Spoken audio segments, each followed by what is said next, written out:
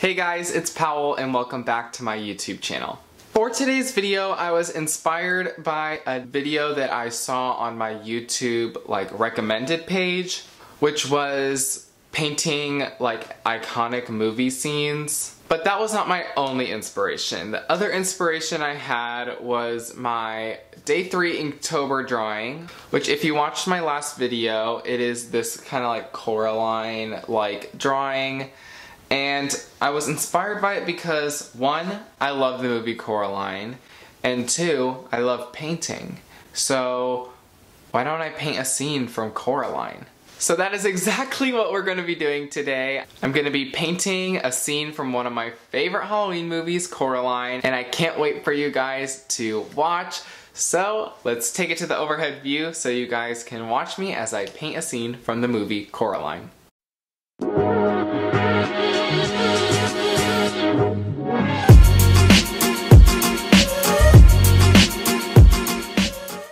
So I have a very light sketch down of what I'm going to be painting today.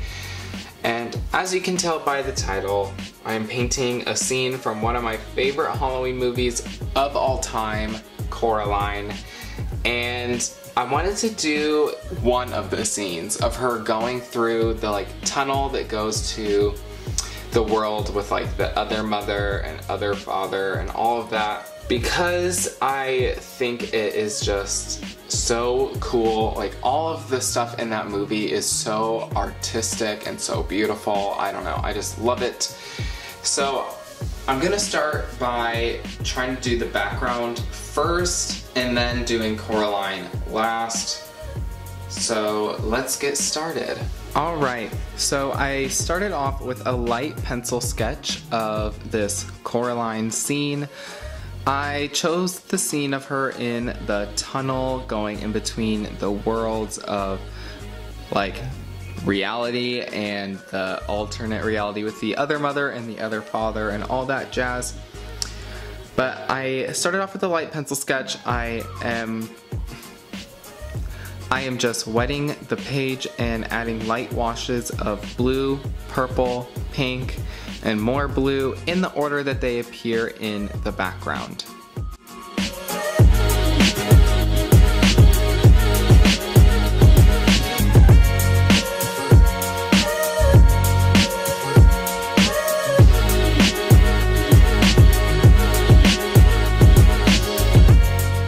Now, once those light washes are all nice and dry, I am going in with darker shades of those eh, same colors to add some more dimension and really get the shape of this like tunnel. Because it is like really funky. It's not just like a circle. It's like a weird material where it kind of like folds over on itself. So I'm adding in those darker bits and then I'm blending them out kind of as I go. And I'm just mixing each shade that I need and adding it where I need to add it.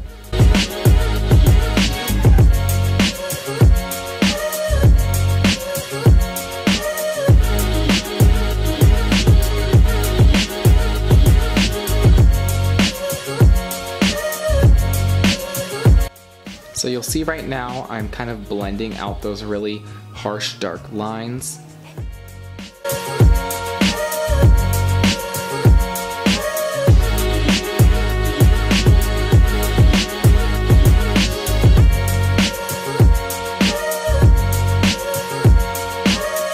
I am trying to avoid the Coraline outline as much as possible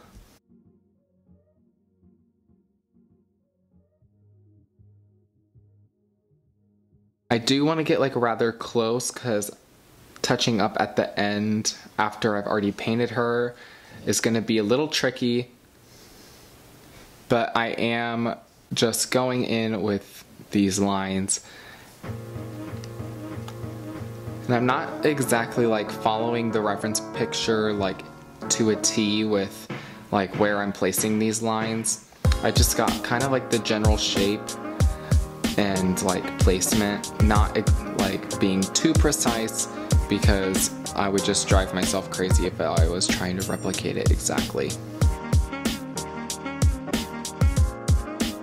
So you can kind of see I went for the bottom corners. So I started with the very center and then I went all the way to the outside and worked my way back towards the inside.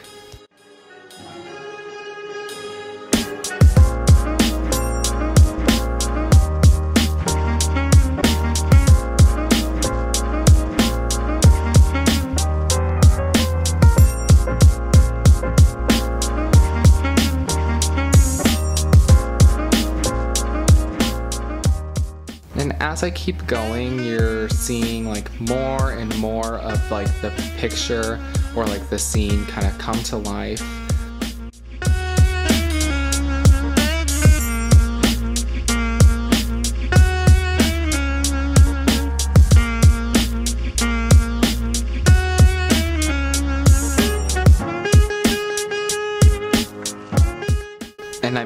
Sure to make these lines not like perfectly round or perfectly like straight or anything like that.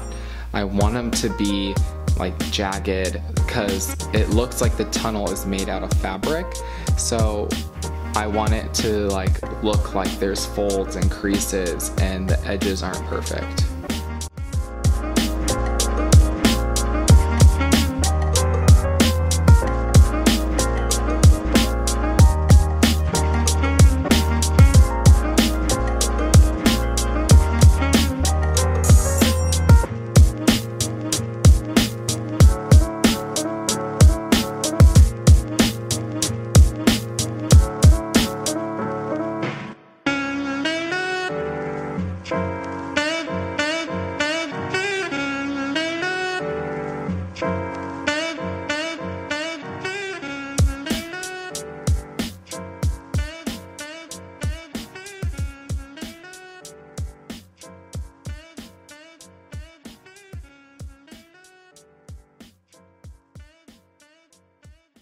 Just a bunch of touch-ups kind of like here and there where I think it needs more contrast or more saturation or more color and stuff like that.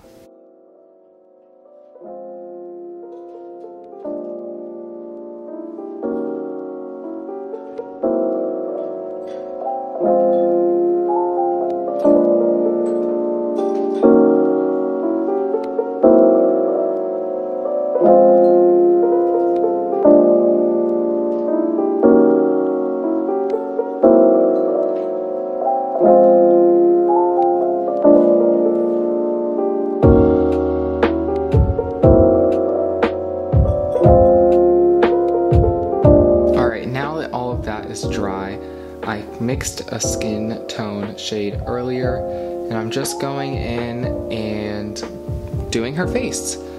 I am not really focusing on trying to get any features right now. I just want this light wash of color.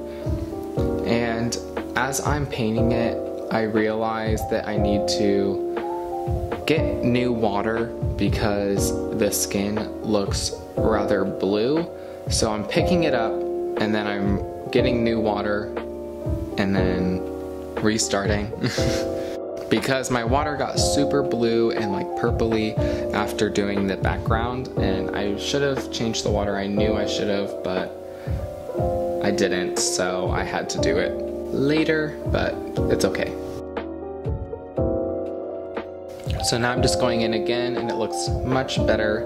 And I'm not like mad if there's like a slight blue tint because I mean, there's blue all around her so it will be like reflected onto her skin. So it looks like it's supposed to be there. It doesn't look bad. So I kind of vibed with it and let it happen. The next thing I did was fill in the brown of her eyes not the black but just the brown.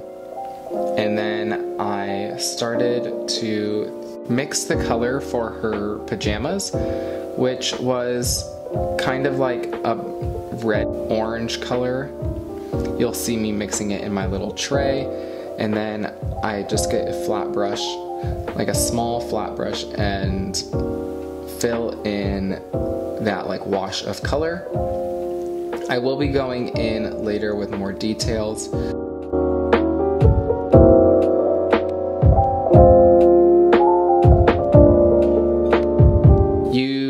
Just gonna see my head for right now because I had to get really close to make sure I wasn't like mixing colors with the background or anything. I wanted to make sure the edges of her pajamas were not like crossing over into the background. So sorry, but you're gonna see my head for a little bit.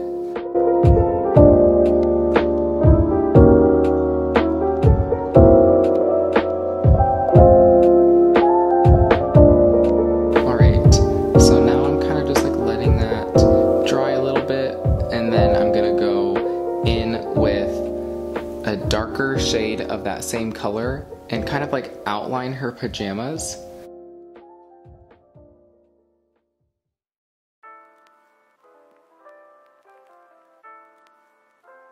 I kind of skipped over that because I did um, not want to have like my head covering this shot again. But now I'm just going in with a detail brush and I put in some purple dots on her pajamas because her pajamas do have purple polka dots on them.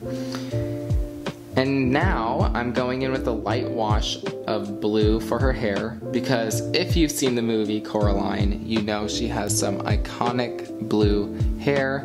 It's not like bright blue, but it's like a dark navy kind of blue. But she's in this environment where it's all blue, so her hair just like really like looks blue like more than ever I feel like in this like picture. So I just did a light wash of blue and then I got a slightly darker, more muted blue and went around the edges and then I did her eyebrows with that same color.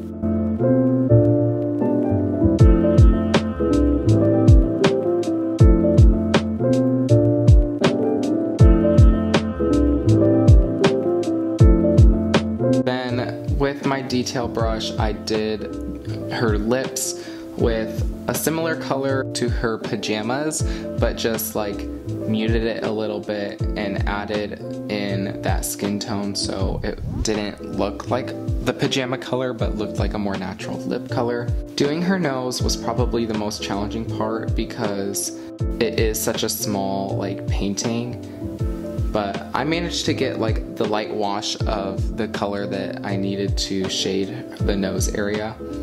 But going in with a detail brush, I'm just using a very creamy consistency of a darkish blue and I'm going in and putting in like strands of hair. You can kind of see I'm just going in like one strand at a time and leaving sections of highlight because that is the whole point of doing the wash beforehand is so you can have those light areas that you go around. And then once I get those done, I go in with a even darker blue. So I mixed some black into the other blue that I used and then just added more depth to her hair.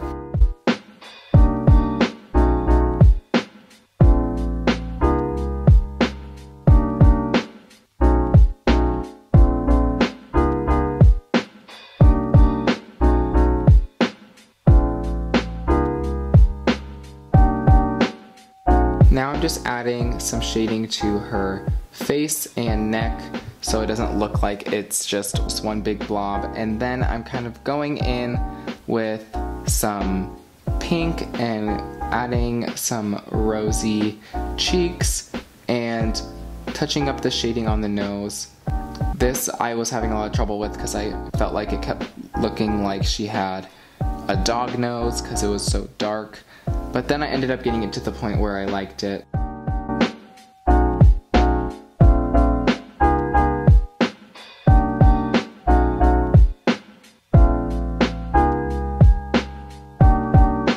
And then I went in with a fine liner and outlined her eyes, a little bit of her nose, and her mouth.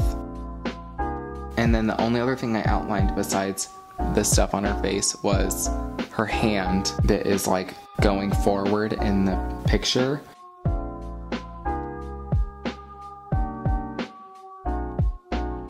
And then I added some white details with my white gel pen.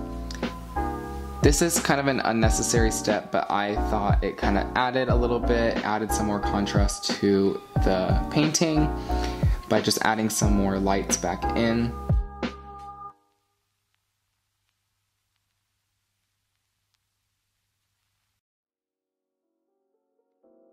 And that is the piece all done. So I'm gonna untape it and then you will see the final piece. Alright guys, that is this Coraline painting all done. I really like the way that it turned out and I think I'm gonna have to watch some Coraline later. Alright, if you like this video, make sure to give it a thumbs up, click that red subscribe button to subscribe to my channel, and hit that bell icon to get notified every time I post a new video.